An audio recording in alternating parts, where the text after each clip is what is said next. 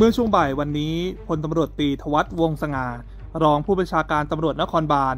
ปล่อยแถวกำลังพลตำรวจในสังกัดกว่า 8,000 นาย เพื่อให้การบริการช่วยเหลือประชาชน และอำนวยความสะดวกการจราจรในพื้นที่ต่างๆ ในการเดินทางกลับภูมิลำเนาช่วงเทศกาลสงการปี 2567 พลตำรวจตีทวัตกล่าวว่า ในช่วงเทศกาลสงการปีนี้กองบังคับการตำรวจจราจร ได้เตรียมกำลังพลเต็มอัตรากว่า 8,000 นาย บูรณาการร่วมกับสถานีตำรวจในพื้นที่ เพื่อรักษาความปลอดภัย สายตรวจ 191 ฝ่ายสืบสวน และฝ่ายปฏิบัติการ เพื่อดูแลความปลอดภัยให้กับประชาชน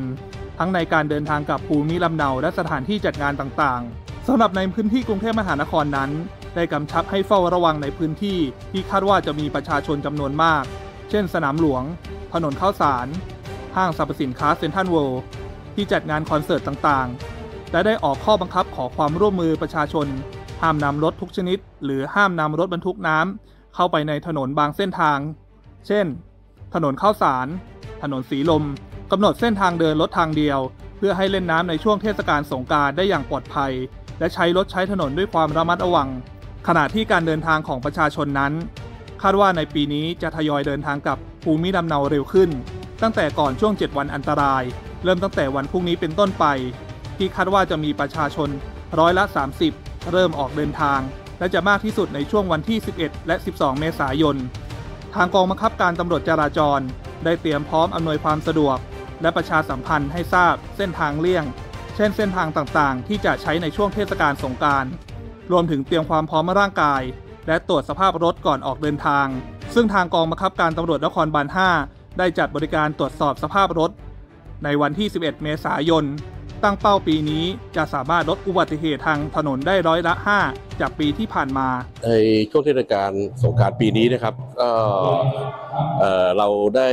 มีการเตรียมมาตรการตั้งแต่เรื่องของของอุปกรณ์ เครื่องมือเครื่องใช้กำลังพลนะครับ มีการประชาสัมพันธ์รณรงค์สำรวจเส้นทางเสี่ยงนะครับเส้นทางที่พี่น้องประชาชนจะเดินทางในช่วงเทศกาลนะซึ่งซึ่งได้ดำเนินการมาแล้วนะครับ ซึ่งวันนี้เองเอ ในส่วนของกองคับการตำรวจจราจรก็ได้จัดโครงการนะครับในเรื่องของการรณรงค์ประชาสัมพันธ์ ขอความร่วมมือกับพี่น้องประชาชนในการใช้รถใช้ถนน โดยเฉพาะอย่างยิ่งในเรื่องของการรักษากฎจราจรนะครับ การเดินทางด้วยความปลอดภัยต่างแล้วก็มีมาตรการในส่วนของของการตรวจรถด้วยตรวจรถตรวจรถให้พี่น้องประชาชนนะครับ มีกองกับ 5บกจรที่เป็นหน่วยที่ จะให้ประชาชนเอารถมาตรวจก่อนเดินทางได้ด้วย ทั้งนี้เมื่อช่วงเช้าที่ผ่านมา ทางตำรวจพร้อมด้วยลูกจ้างในสังกัดบกจร และผู้ร่วมงาน ได้ร่วมกันลดน้ำขอพรจากผู้บังคับบัญชา เนื่องในโอกาสวันสงการปี พศ 2567 เพื่อความเป็นสิริมงคล เป็นขวัญกำลังใจในการปฏิบัติหน้าที่ และเพื่อเป็นการสืบสานวัฒนธรรมอันดีงามของไทยด้วย